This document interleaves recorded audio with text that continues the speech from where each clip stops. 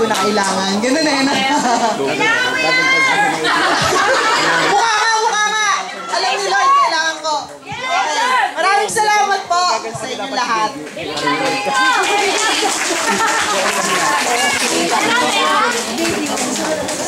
Okay.